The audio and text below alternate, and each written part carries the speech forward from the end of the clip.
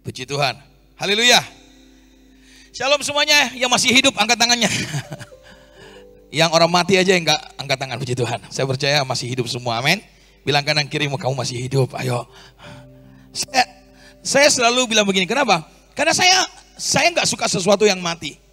Percayalah, saya punya ikan dulu mati nggak enak, anjing mati nggak enak, dan serius, kucing mati nggak enak, semua mati nggak enak. Saya sudah nggak punya mama, papa, saya tujuh bersaudara, tiga sudah meninggal. Jadi lima anggota keluarga saya sudah meninggal, tinggal empat. Dan itu nggak enak. Percaya atau tidak, sesuatu yang mati sangat tidak menyenangkan. Betul? Dan hari ini saya dikasih tema tentang practical faith. Percaya atau tidak, iman kalau mati itu paling nggak enak. Karena begini, saya boleh kehilangan banyak hal dalam hidup. Saya boleh kehilangan keluarga, saya boleh kehilangan kesempatan, saya boleh kehilangan banyak hal. Mungkin masa depan saya sepertinya nggak nggak jelas nih.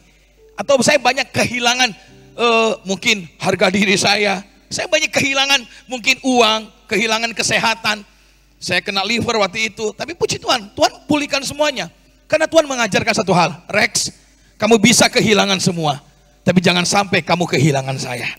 Karena esensi dari semua pertemuan ibadah KKR adalah kehadiran Tuhan dalam hidupmu. Tepuk tangan buat Tuhan.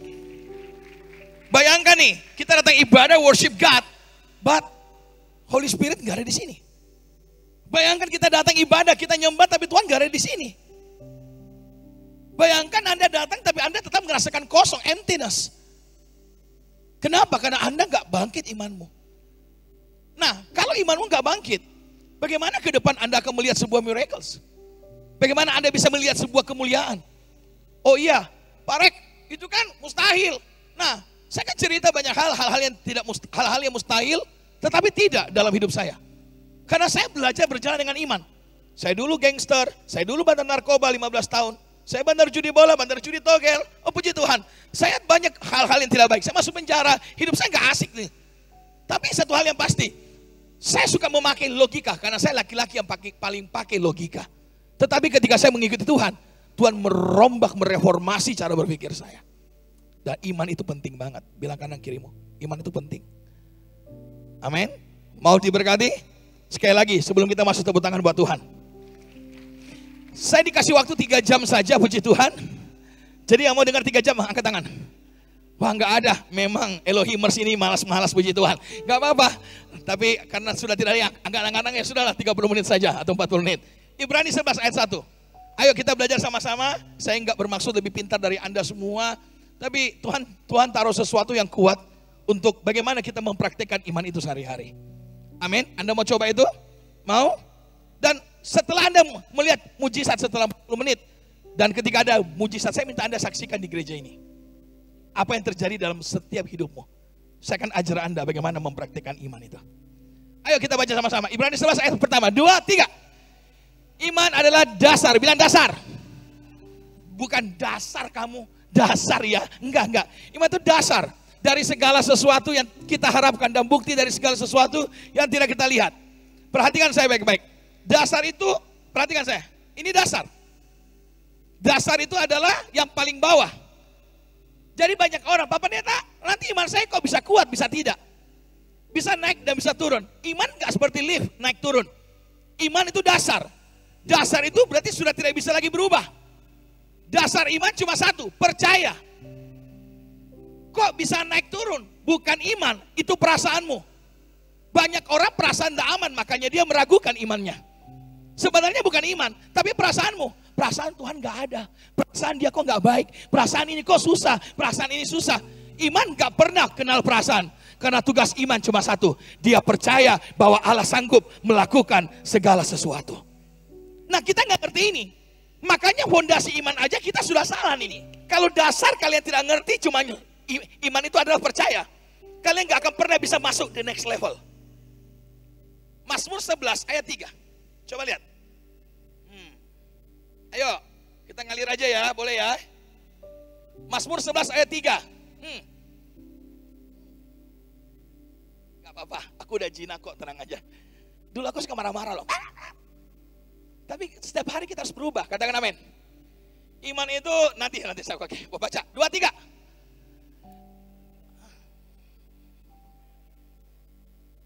Makanya setan gak setan gak akan muncul di mukamu. Ya, enggak. Dia akan coba hancurkan imanmu. Dia akan coba tahan berkatmu sampai engkau nggak melihat mu, mujizat. Karena waktu dasarmu sudah digoyahkan, engkau tidak lagi percaya Tuhan, maka engkau kehilangan harapan untuk melihat Tuhan bekerja. Amin. Amin. Dan hari ini Tuhan sedang mau bangkitkan imanmu lagi, adik-adik, teman-teman, saudara-saudaraku. Bahwa begini, tugas iman cuma satu, bilang tugas iman cuma percaya, bilang. Dan saya percaya Tuhan sanggup melakukan segala sesuatu. Amin. Nah, pahami dulu ini. Iman adalah percaya, selesai.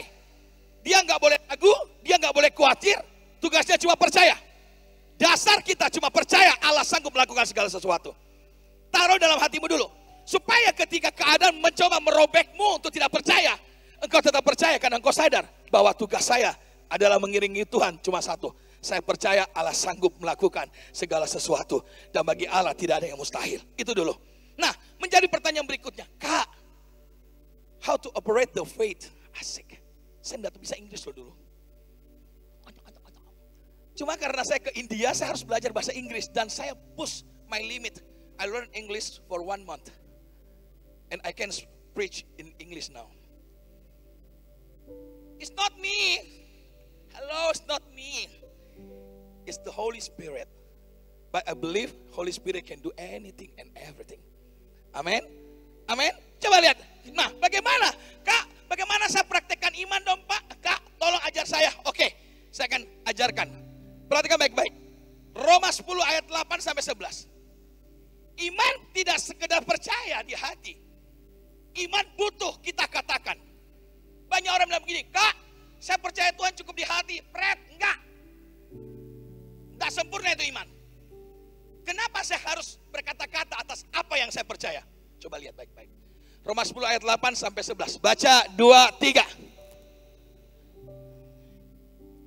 Firman itu dekat kepadamu, yakni di dalam mulutmu dan di dalam terus itulah firman iman yang kami beritakan. Terus ayat 9. Sebab jika kamu mengaku dengan mulutmu Yesus adalah Tuhan dan percaya dalam hatimu Allah telah membangkitkan dia dari antara orang mati, maka kamu akan diselamatkan. Terus ayat yang ke-10. Dengan hati orang percaya cuma dibenarkan. Kenapa saya harus deklarasi apa yang saya percaya? Karena dengan deklarasi saya diselamatkan. Apakah ketika Indonesia dia mendeklarasikan kemerdekaan dia sudah merdeka? Tidak dia masih dijajah oleh Belanda. Tetapi sebuah deklarasi memaklumkan kepada seluruh dunia bahwa saya sudah merdeka. Membuat dunia tidak berani lagi menginvasi Indonesia. Kenapa saya percaya tidak cukup? Saya harus bilang, saya anak Tuhan. Dosa sudah tidak lagi ikut pada saya. Supaya setan tahu, saya milik Allah. Mereka tidak lagi bisa masuk dalam kehidupan saya. Sebab hari ini saya sudah mendeklarasikan bahwa Tuhan sudah menginvasi hidup saya. Dan itu cukup bagi saya. Amin. Keren. Amin. Nah pertanyaannya kita sus, kita kita susah. Pak, saya mau percaya cukup dalam hati. Hei, tidak cukup percaya dalam hati. 2 Korintus 4 ayat 13. Buka, buka, buka. Ayo. Hari ini kalau Anda percaya berkatakan yang baik. Jangan suka bilang, rusak. Sudah hancur aku, Pak. Aku gak punya lagi gue. Mati aku. Ya mati. Pernah lihat gak keluarga kalau berkelahi papa mama? Cerai aja kita. Cerai. Jujur, berapa banyak yang cerai? Setan. Tadi saya baru khotbah di GC. Saya adalah korban yang selalu dimaki oleh keluargaku. Makanya hidup saya kayak setan. Anak setan, anak monyet. Saya bingung, bapaknya mungkin rajanya. Halo, kita suka perkataan hal yang tidak baik. Sorry, ini ini ini nggak penting. Perhatikan baca. Baca dua tiga. Namun karena kami memiliki roh iman yang sama, seperti ada tertulis, aku percaya, sebab itu aku berkata-kata. Maka kami juga percaya, sebab itu kami juga hari ini kalau hidupmu tidak baik, perkatakan itu bahwa itu keluar dan hari ini hidupku baik. Perhatikan baik-baik. Kenapa saya mesti berkata-kata? Karena orang beriman ada kuasa dalam perkataannya. Orang percaya ada iman, ada firman. Itu akan membuat yang tidak bisa jadi bisa. Bayangkan ketika bumi masih gelap gulita nih. Tiba-tiba roh Allah melayang. Jadilah terang. Maka terang jadi. Firman itu berkuasa atas mulut Allah. Hari ini waktu engkau percaya Allah berkuasa atas hatimu, atas hidupmu. Makanya tidak cukup engkau percaya, engkau harus berkatakan bahwa hidupku dipenuhi kemuliaan. Ada mujizat yang terjadi. Masa depanku penuh dengan gilang gemilang. Keluargaku akan dipulai, uh, uh, akan mengalami pemulihan. Pekerjaanku akan diberkati. Apa yang aku sentuh Tuhan buat berhasil. Coba perhatikan. Baca dua tiga. Katakanlah kepada mereka demi aku yang hidup. Demikianlah firman Tuhan. Bahwasanya seperti yang kamu katakan di hadapanku, kata Tuhan, demikianlah akan kulakukan kepadamu. Hati-hati dengan perkataan. Bilang kanan kirimu. Hati-hati lambemu.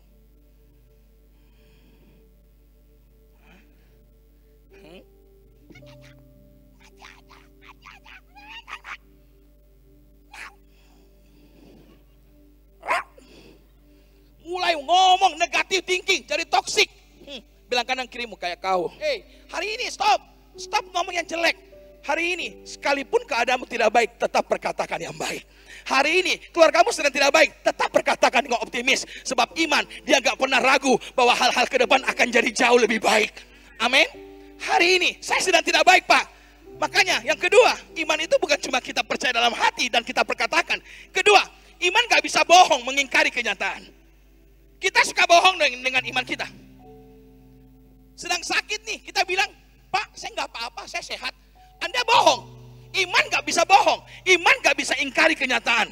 Sebab iman bukan mengingkari kenyataan. Iman mengubah kenyataan ke depan.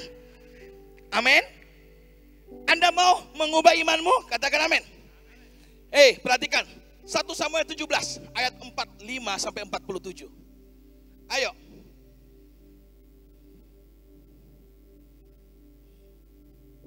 Ayo baca. 1 Samuel 17 ayat 45 sampai 47. Yang pegang mic baca dong.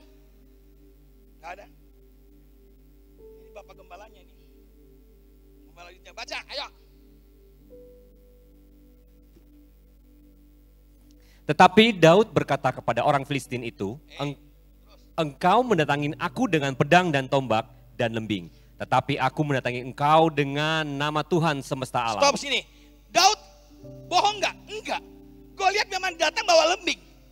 Gue lihat memang datang dengan sebuah kenyataan. Hari ini kita nggak bisa mengingkari kenyataan bahwa keadaan kita memang susah. Keluarga kita sedang tidak baik-baik, hatimu sedang tidak baik, imanmu sedang lemah, rohmu sedang redup. Engkau tidak punya kekuatan dan pengharapan. Kita nggak bisa bohong. Iman nggak bisa bohong. Kenapa saya nggak lihat mujizat? Karena anda bohong dengan imanmu. Saya sembuh, Padahal kenyataan sakit, istri saya sakit tumor sudah mau mati. Dokter bilang mati atau cacat. Banyak orang bilang, Pak pendeta baik-baik saja. Tidak. Saya nggak punya iman seperti itu. Saya bilang, memang dia sakit. Tapi saya percaya Tuhan akan bekerja di tengah-tengah penderitaan ini untuk mengubah air mata menjadi sebuah kemuliaan Tuhan. Itu iman. Tidak mengingkari kenyataan, tapi akan mengubah ke, apa namanya kenyataan yang ada di depan. Saya nggak bisa rubah bahwa saya masa lalu saya rusak. Saya nggak bisa ubah. Betul? Imanmu hari ini nggak akan merubah Rex adalah bandar narkoba. Betul? Siapa namamu? Sini. Oh, sorry. Darahnya keluar. Ayo sini. Ayo, sini. Siapa namamu? Iman gak akan pernah merubah keluargamu cerai. Iman gak akan mengubah kenyataan bahwa Anda miskin. Iman gak akan pernah mengubah kenyataan Anda pernah diperkosa. Anda pernah alami pelecehan. Tapi imannya, imanku, iman kalian akan mengubah langkah-langkah kita ke depan. Tuhan akan memulihkan dan membuatnya menjadi indah dalam kemuliaan Allah. Makanya Daud kasih contoh. Engkau datangi aku dengan lem, tombak lembing. Iya, kenyataan memang datang dengan tombak dan lembing. Tapi ayat 46 bilang apa? Ayat 46. Ayat 46 bilang apa? Hari ini juga Tuhan akan menyerahkan engkau ke dalam tanganku dan aku akan mengalahkan engkau dan memenggal kepalamu dari tubuhmu. Perhatikan, apakah sudah terjadi? Tapi bahasa iman ini beda bos. Saya nggak bisa ubah masa laluku, tapi saya akan ubah masa depanku. Sebab saya percaya imanku akan mengubah semua alur cerita. Sebab siapa yang bersama dengan aku, itu yang menentukan langkahku ke depan. Amin. Dan ini yang terjadi. Terus, Hari ini juga aku akan memberikan mayatmu dan mayat tentara orang Filistin kepada burung-burung di udara dan kepada binatang-binatang liar. Supaya seluruh bumi tahu bahwa Israel mempunyai Allah. Wow, terus ayat nomor 7. Perhatikan. Dan supaya segenap jemaat ini tahu bahwa Tuhan menyelamatkan bukan dengan pedang dan bukan dengan lembing. Sebab di tangan Tuhanlah pertempuran dan ia pun akan menyerahkan kamu ke dalam tangan kami. Imannya nggak percaya diri, imannya percaya Tuhan. Banyak orang percaya diri gagal total. Hei, jangan percaya dirimu, jangan percaya temanmu, jangan percaya orang-orang yang bisa tolong kau. Nggak usah percaya mereka. Percaya bahwa Tuhanlah yang akan memberikan kau kemenangan dalam sebuah pertempuran. Realita kita nggak bisa ubah masa lalu kita.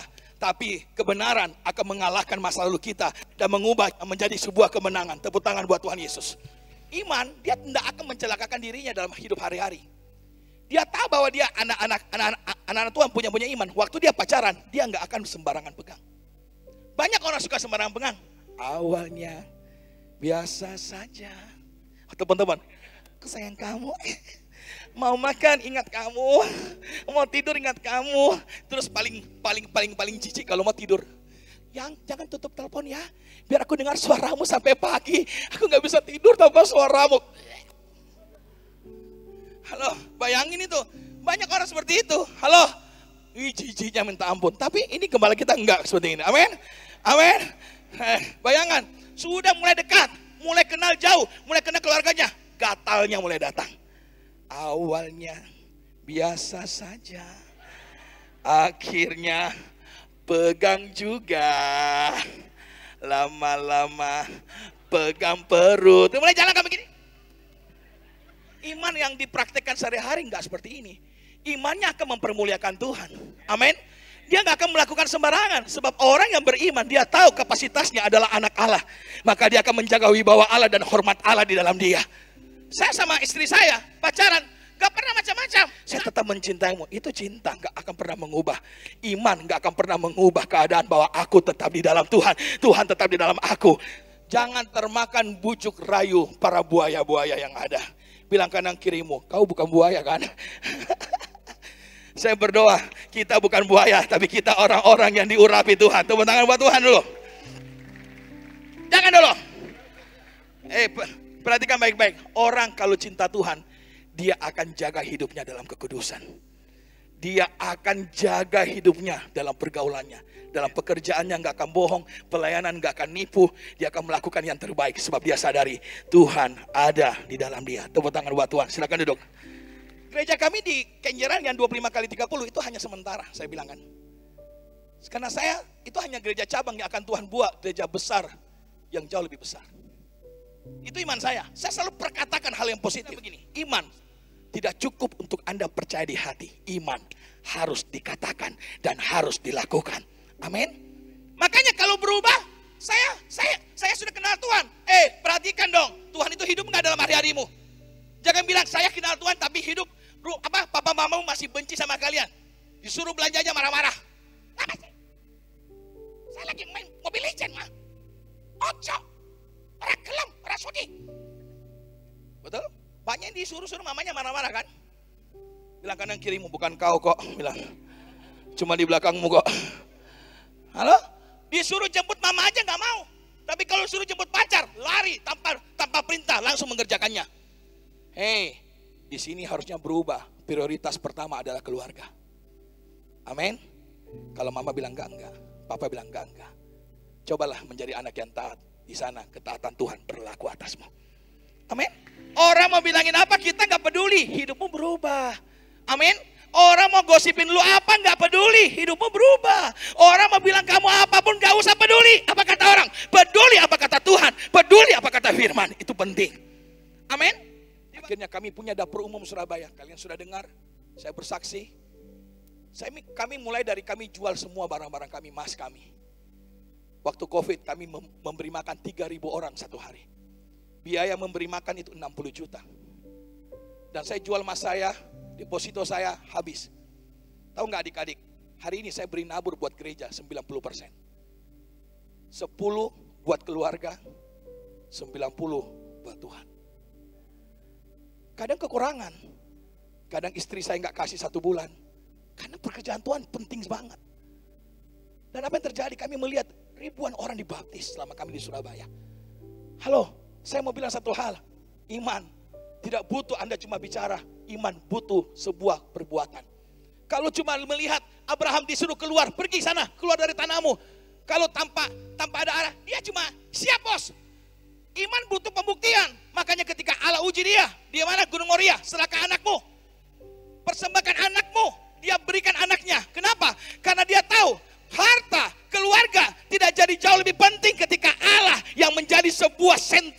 semuanya. Kenapa Jehovah Jireh terjadi? Karena Tuhan melihat sebuah korban. Hari ini, kenapa Tuhan memberkati saya? Karena Tuhan melihat ada sebuah korban di dalam hidup Rex. Dan hari ini kita nggak pernah sadar dari memberi makan selama empat bulan itu habiskan biaya mungkin sekitar 8 miliar, 10 miliar. Uang dari mana? Kami nggak pernah tahu. Tapi ketika kami lakukan, Tuhan buka jalan. SCTV datang, Indosiar datang, Metro TV datang, CNN Internasional liput semuanya. Kami kaget. Di waktu uang sudah habis, apa yang terjadi? Tiba-tiba telepon datang dari Amerika. Sebelum telepon datang, menjadi pertanyaan, kenapa kamu buat Rex? Kalian tahu nggak? Waktu Delta, Surabaya 200 orang mati setiap hari. Yang telepon kami minta makan anak-anak kecil yang sudah yatim piatu. Karena papa mamanya meninggal COVID. Ada 300 lebih anak yang tidak punya sebuah pengharapan. Gereja lockdown. Orang-orang percaya tutup. Maaf, hamba-hamba Tuhan sembunyi semua. Harusnya kita jadi terang tengah-tengah kegelapan. Tapi kita justru gelap waktu dunia sedang gelap. Ketika saya berdoa di kamar, saya bilang, Tuhan saya nggak terima Tuhan. Saya mau balikan keadaan dan mulailah dari saya Tuhan. Tuhan cuma bilang apa yang ada padamu. Cuma emas, jual semuanya. Dan kami mengambil sebuah langkah yang gila. Karena kami nggak mau lagi ada kematian. Saya nangis, saya nggak mau Tuhan ada yang mati. Kami kirim pengerja di kuburan Bapak Cerawat sama Mulyosari. Setiap ada yang mati COVID, gak ada pendeta kuburkan secara gratis. Saya sama uh, Valen, ini berdiri. Kami fogging rumah rumah orang tanpa pakai masker. APD sampai kami kena tujuh kali COVID, puji Tuhan. Kami gak pernah peduli dengan semua. Kenapa? Kenapa? Dunia harus kenal Kristus. Dan apa yang terjadi? Dari kami buat. Tiba-tiba Tuhan bekerja. Di waktu uang habis. Telepon datang dari Amerika. Halo? Kitchen Surabaya. Saya, saya waktu itu masih belum tahu Inggris. Yes, yes, yes. Yes, yes, yes. Tiba-tiba kita bilang money. Oh yes, yes. I know money, money, money. Saya kirim nomor rekening saya. 20 juta datang. Baru tutup telepon. Australia telepon. Kitchen Surabaya. Oh saya mulai tahu ini pasti uang ini. Saya cuma pura-pura bodoh aja dulu. Yes, yes. Uh, dia ngomong-ngomong, oh money, money. Saya langsung ngomong money, money. Yeah, yeah, money. Oke, okay. langsung dia kirim lagi 20 juta. Hari itu Amerika, Australia, Jerman, Kanada, Cina, Rusia, Taiwan, Singapura, Inggris semua kirim uang hari itu. Dan hari itu dapur umum bergerak dengan dahsyat. Indonesia orang kirim beras itu ribuan ton, nah, uh, mie ribuan karton, telur-telur sampai semua bahan pokok rumah kami, gereja kami, dapur kami, bahkan di depan jalan tidak mampu tampung berkat Tuhan. Kami harus bilang sama Tuhan berdoa, berhentikan dulu berkatmu, terlalu banyak. Hari itu Surabaya dilululantakan. Empat bulan kita beri makan 400 ribu paket. Dan dapur umum mendapat penghargaan tertinggi dari Jawa Timur. Di depan seluruh kepala daerah, gubernur, kementerian, dapur umum mendapat award terbaik seluruh Jawa Timur. Orang butuh Yesus dalam hidupmu. Ada Yesus nggak dalam kalian? Keluargamu lihat Yesus nggak? Kalau hari ini keluargamu belum kenal Yesus, jadilah berkat dengan kehadiranmu tengah-tengah keluargamu. Amin. Kalau di sekitarmu masih belum ada Yesus, di teman-temanmu mungkin, jadilah orang-orang yang akan mengubah sebuah situasi. Kami ke Hainan, kami mulai pelayanan underground kami dari hanya 30 jiwa anak-anak muda. Tiga tahun kami kasih tinggal, Hainan hari ini 600 jiwa. Saya mau bilang hari ini, anak-anak muda, engkau bisa melakukan banyak hal yang hebat. Tapi ingat, imanmu harus tertuju pada Tuhan. Ayat terakhir, Yesaya 30 ayat 15. Tumbuh iman, imannya yang harus tumbuh. Iman, hidupnya harus bertumbuh, dampaknya harus bertumbuh. Amin. Itu iman. Amin. Ayo ayat terakhir baca. Semua yang kuat semuanya, yang kompak, yang paling besar. Dua, tiga.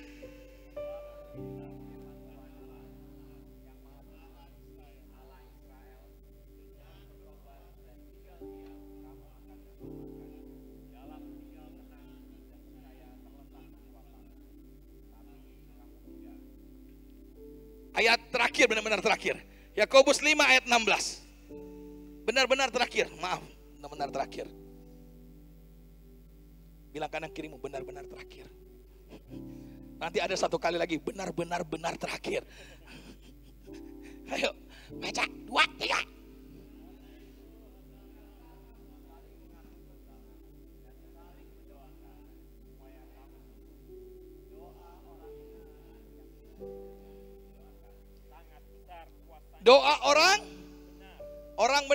Bilang kanan kirimu, saya orang benar.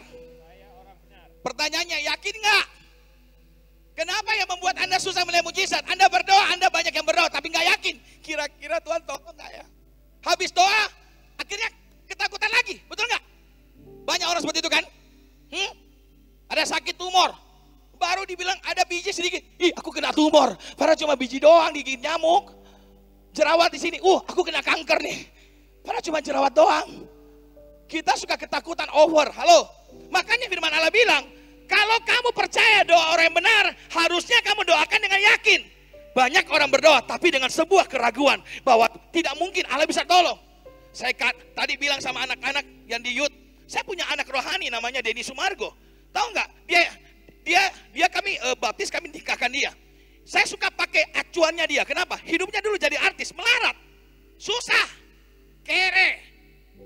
Mau sombong apa lagi? Kere. Sekarang sudah di dalam Tuhan baru sombong-sombong dia. Maksudnya sombong karena itu kontennya dia. Orangnya baik kok sebenarnya.